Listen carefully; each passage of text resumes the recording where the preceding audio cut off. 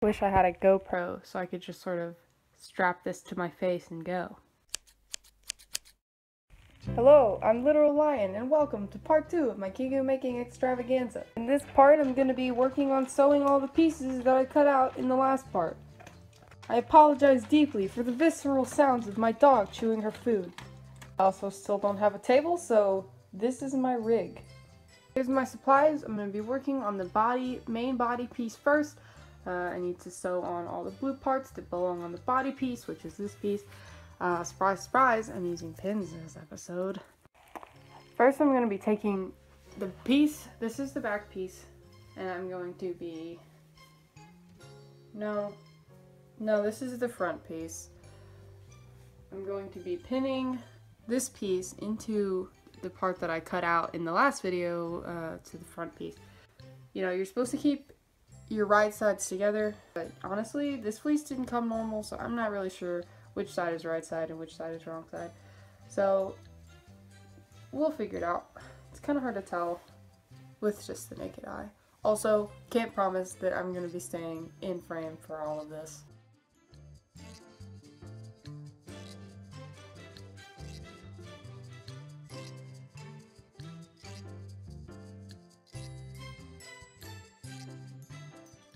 So the method of pinning and sewing that I've decided to use is a little unorthodox for me, but I'm going to be using a very, very small zigzag stitch and just stitch this directly onto this instead of uh, putting right sides together because um, I was not convinced that these points were going to come out very sharp, not like this if I did it that way.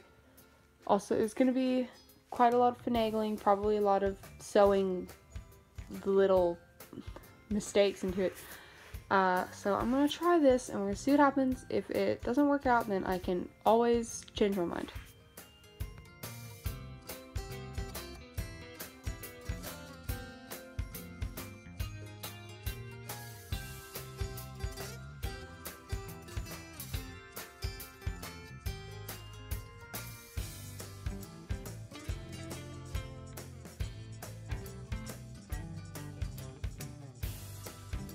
So, not a fan of what I was trying to do. Did not like what was happening. Uh, so, I'm going to just be pinning it right sides together like I'd originally planned. You know, so it comes out looking like this, but I'm going to do it in small increments so that, you know, this, see how this, you know, you can, you can see how this would be a problem if I were pinning it all at once.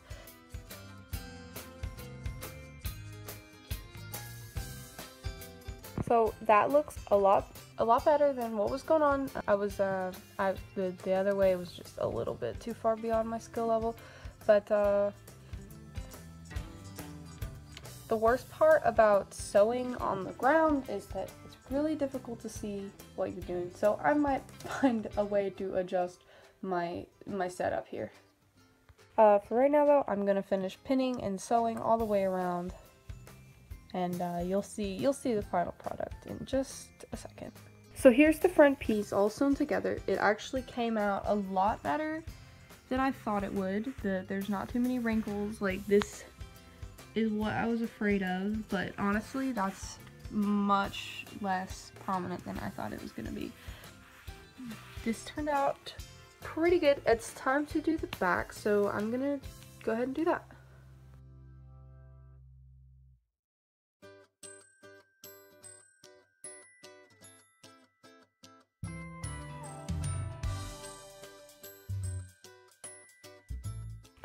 I ran out of thread in my bobbin.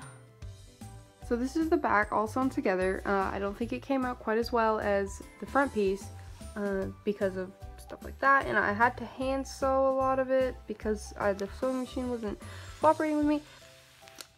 You know, th this, it looks okay.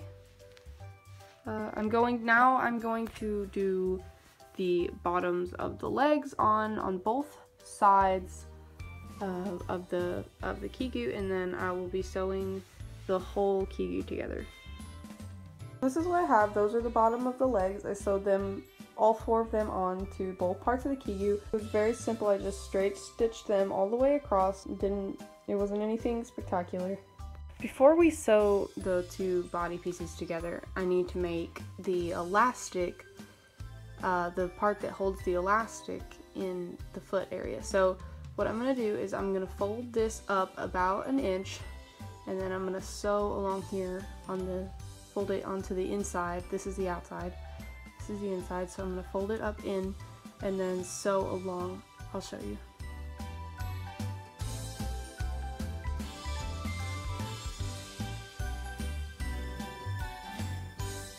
Oh my goodness. I don't know if you can, yeah. This, what is this? Uh, I'm gonna have to figure out what caused this problem. uh, my, this sewing machine is kind of strange. It doesn't have, I mean, I don't, this, this is the only wheel it has. My other one had a bunch of wheels and this is not even labeled. I don't, I don't know. This is not my sewing machine, so it's kind of strange. So we're gonna try again. We have to do uh, the bottom of the leg like this for all four of the pants before we can sew the two body pieces together. It's a lot better, but it's still a little bit looser than I'd like it to be, but I think that's because the thread in my bobbin was spun a little bit loose for some reason. Uh, I, I can't, I don't really feel like fixing that now, so uh, hopefully it won't be that much of a problem. So here's my body piece, uh, the front part. Before I put them both together, one more thing that we need to do. We need to put, cut down the middle where the buttons are gonna go and put in this strip where the buttonholes will go so that it looks like this.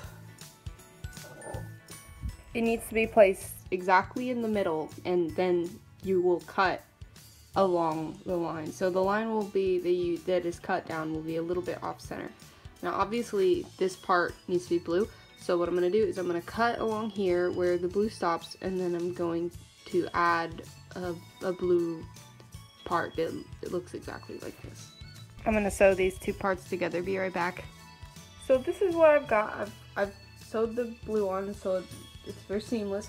I put it down the middle and I'm going to cut right there and then I'm going to turn it that way and sew it and I'm also going to cut right here and sew it in right there. I'll show you.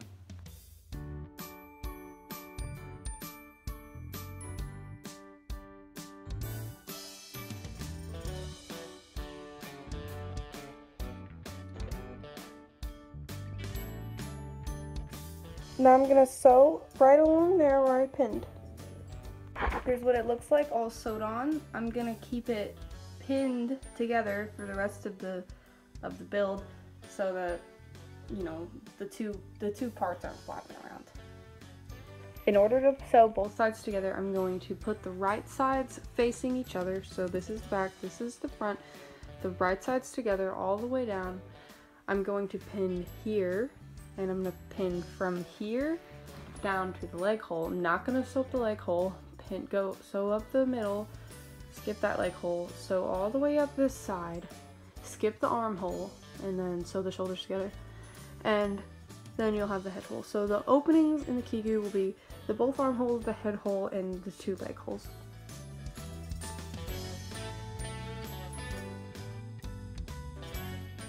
I'm in the middle of sewing the body piece together. Here's the big lumpy mass.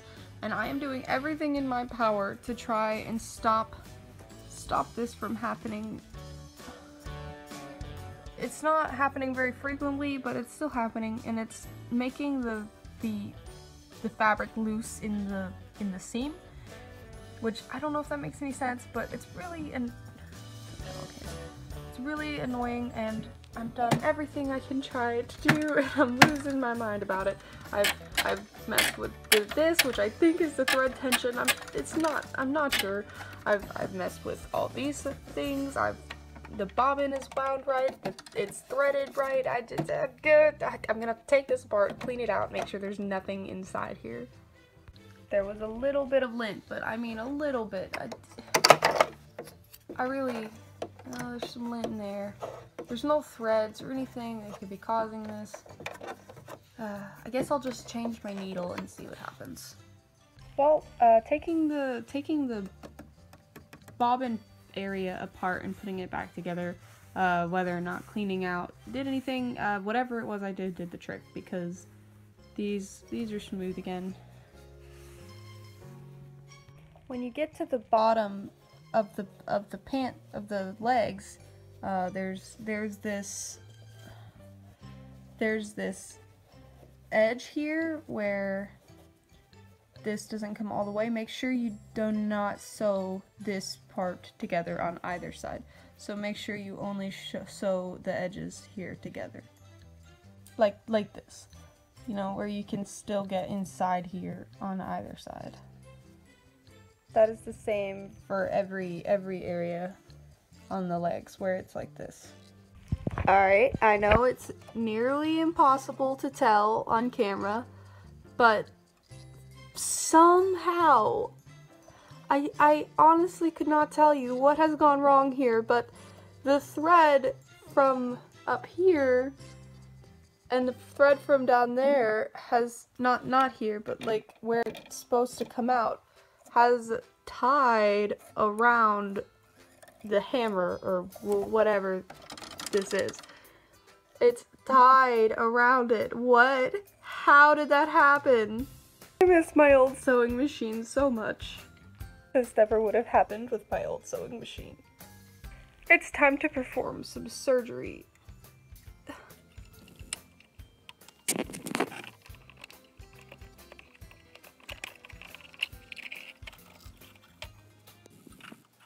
Now back to the regularly scheduled program. Oh god, these are looking so much better. These look so good now. Gosh, I'm so good at this. Here it is, all sewn together. Now let's turn it inside out.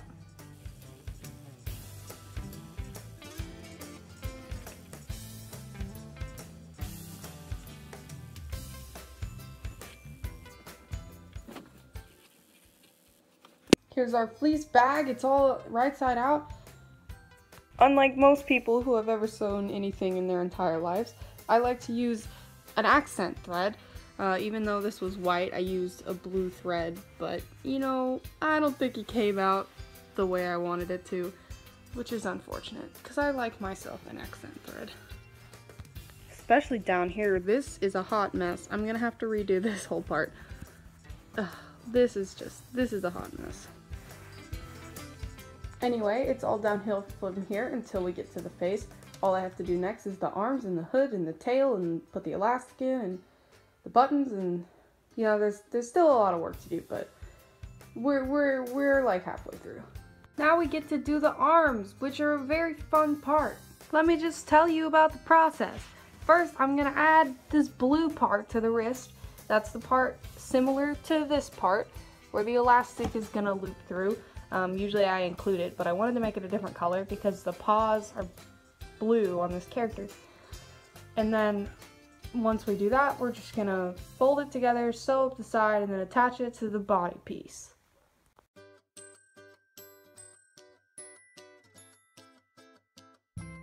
And boom, that's what it looks like. That's gorgeous, honestly, if I do say so myself.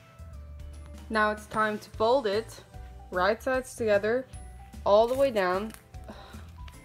Get, get, and sew along, along this line. Once again, careful, do not sew this closed. We need to put the elastic in first, but it's not at an angle like the, the leg parts were. So I'm just going to leave this part off and then hand sew it together. Here's what it looks like all sewn together. That's a pretty solid arm, nice and long. A little narrow. If you have wide arms, I'm sorry. I'll, I'll, I'll try to do better next time. Okay, I'm gonna make an attempt to show how I put the sleeve onto the body piece. Just bear with me here. First, I'm gonna take, this is the sleeve, and this is the seam and it's gonna go on the bottom. So this is where the armpit is. We're gonna take this seam and this seam and put it together like that and then pin it. So once you've pinned it, we're gonna kinda take this and put it in this like that and then we're gonna take this and turn it inside out Oh, first I'm gonna unpin this. Just throw them on the floor. Okay, so now this opens up. Turn this inside out into like that. So now you've got this sort of business going on. See, this is the part that was pinned. And then you just sort of line the sleeve up. Hopefully it's the same size. If you measured right, it should be the same size. Uh, line it up around the edge, pin it all the way around. Here's what it should look like once it's all pinned together. Uh, mine ended up being the same size because I'm a professional. I'm going to take it to the sewing machine and lay it down on the sewing machine like that and sew around this edge. It shouldn't, it, it, it should be fine. If you're wondering why I'm not showing a whole lot of sewing footage, it's because I don't actually own a tripod. Maybe one day, if I decide that I like making these videos, I'll get a tripod. I know they're only like a couple dollars on Amazon, but for now I'm just, you know, like setting it up somewhat embarrassingly. For now there's no, there's not a whole lot of footage of me sewing, but maybe someday. Here's the sleeves sewn on. It looks good, I think. I mean, it's hard to tell that it looks good in this in this video, but it looks good. Now that both the sleeves have been successfully transplanted, it's time to move on to the tail. I'm gonna just sew around the edge, stuff it with polyfill, and then hand sew it. Well, we'll see what happens when I get here, because this is a really fat tail, fatter than I normally do, so I might not hand sew it. I might try to machine sew it. So what it looks like all sewn together and turned inside out, I used the end of my scissors to poke the points out into a nice sharp point. Now I'm going to stuff it with polyfill.